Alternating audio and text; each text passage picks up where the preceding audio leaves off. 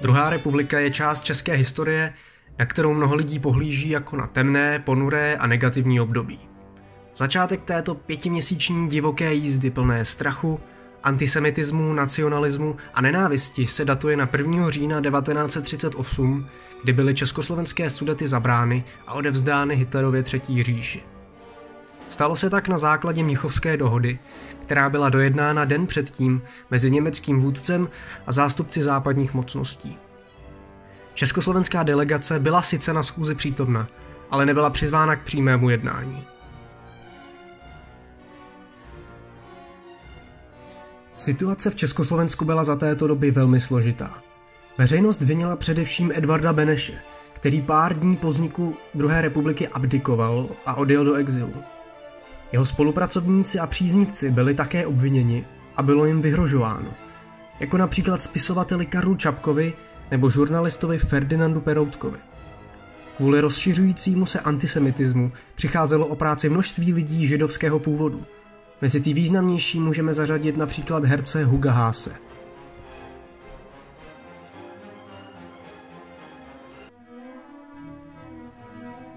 Politická situace je jedním z hlavních důvodů, proč druhou republiku spousta historiků, politologů a veřejnosti považuje za nedemokratickou. Z množství politických stran, které zde byly aktivní za první republiky, se staly legální pouze dvě. Tři, pokud počítáme slovenskou Luďovou, a to pravicová vládnoucí strana Národní jednoty a opoziční Národní strana práce. Byla zakázána činnost především levicovým stranám, a to například komunistům. Zbylé byly poté sloučeny do strany práce. V čele vlády byl předseda agrárníků Rudolf Beran, který nastoupil po Janu Syrovém. 30. listopadu se stal hlavou Československa dosavadní předseda nejvyššího správního soudu Emil Hácha.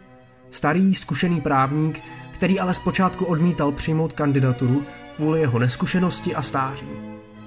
15. prosince 1939 byl podepsán zmocňovací zákon, který rozpustil parlament na další dva roky. Nesnesitelný tlak ze strany Hitlera přinutil vládu k antisemickým krokům, které byly z důvodu rostoucího nacionalismu české elity podporovány. Soudobí politici pravděpodobně neměli moc na vybranou a z většiny pouze plnili příkazy Hitlera, který postupně utahoval kohoutek. Z mezinárodního hlediska byl stav Československa pro západní mocnosti zcela jasný. Francie a Velká Británie pokračovaly v politice appeasementu a nadále podporovali a schvalovali vše, s čím Hitler přišel. Britský premiér Neville Chamberlain dokonce odcestoval za Hitlerem do jeho sídla v Bavorsku. Německo zřetelně a jasně porušovalo mírové smlouvy, ale to Západ vědomně přehlížel. Francie, která s Československem podepsala v roce 1924 spojeneckou smlouvu, na kterou záměrně zapomněla, se držela politiky ústupků ve stopách Británie.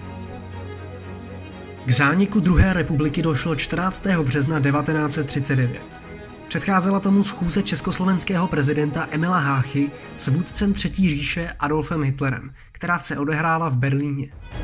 Ještě před odjezdem Háchy podala vláda demisi, která ale nebyla přijata. Vláda tak nadále úřadovala v demisi až do dubna 1939. Na Slovensku měli veliký vliv separatističtí ludáci, čehož využil Hitler k další destabilizaci Československa.